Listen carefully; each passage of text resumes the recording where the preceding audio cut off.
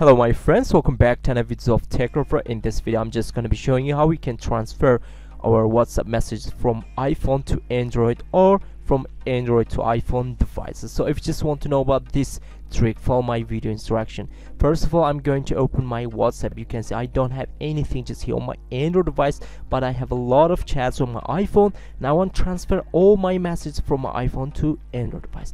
You have to install one of the software just here by the name of Dr. Fone. You can find out the link which is on my video description below and choose the WhatsApp transfer then choose this option. Now we have the source and destination. For the source you have to choose your iphone at the device you want to get the messages.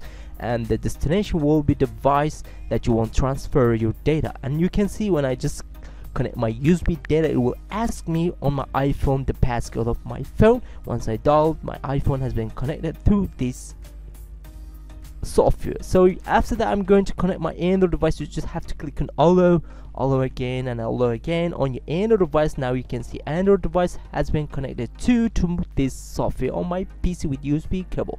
Then click on transfer. After that you have to click on ok on your android device. And here you go. Then you have to click on continue. Just here on this software. You can see it's now transferring all your messages from iphone to android device. Now we have to wait until it's going to be done so once all setups has been done we have a little small setup. We just have to verify. I mean we have to create a whatsapp account here on our device i mean the destination device. I'm going to click on agree and continue to dial my phone number then creating my whatsapp account by getting the verification code from whatsapp.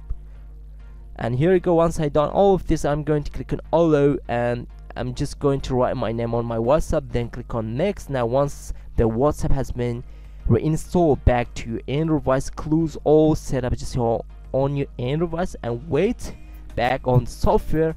It is installing the WhatsApp with the messages to my Android device. So let's go ahead to this going to be done. And after that we're going to check out for the result by closing this notification. Let me close it then I'm going to click on OK. Then here we go. We're all done. Now we have to check our device. Let me close this software on my PC then I will show you my Android device with the messages. Then click on no thanks and after that here we go. I got all the same messages on my iPhone device to my Android device too. So it was a video about how we can transfer all your messages from your iPhone device to Android or from Android to iPhone devices. This is all about how we can transfer WhatsApp data. Just check out for the link which is over on my video description below to download the software. And that's all. Thank you. Bye. Peace.